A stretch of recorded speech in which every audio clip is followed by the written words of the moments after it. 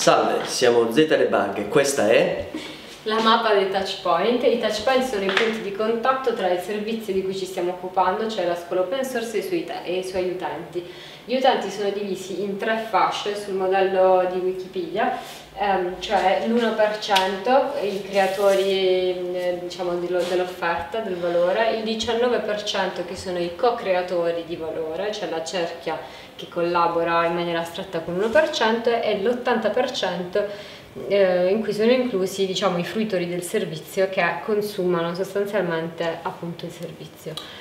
Sono grossomodo tre cerchie concentriche che guardando più da vicino contengono nell'1% ad esempio il consiglio di amministrazione che è l'ente sia gestionale sia di propulsivo. Nel 19% abbiamo gli hacker, i maker, i co-creatori, chi sta attorno alla scuola e crea il valore che poi viene portato all'80% che è diciamo la cerca più ampia.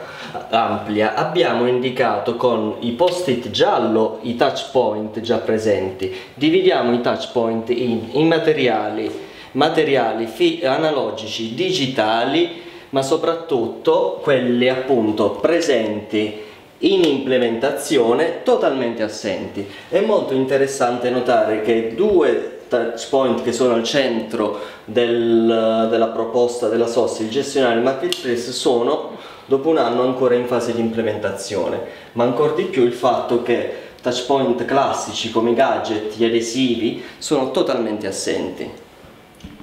Inoltre tra i, tra i touchpoint presenti abbiamo individuato dei bug sulla base di interviste e consultazione con diciamo, gli altri partecipanti all'XYZ Lab, in particolare un bug è nella sede inteso come comodità e ehm, presenza di spazi per decompressione eccetera. E come si diceva appunto nei gadget di, di XYZ che per l'appunto sono assenti anche nei corsi Um, in quanto si tratta di una mappa utile appunto al debug è il momento in cui rileviamo cosa non va per poi passare alle fasi successive di progettazione e risoluzione.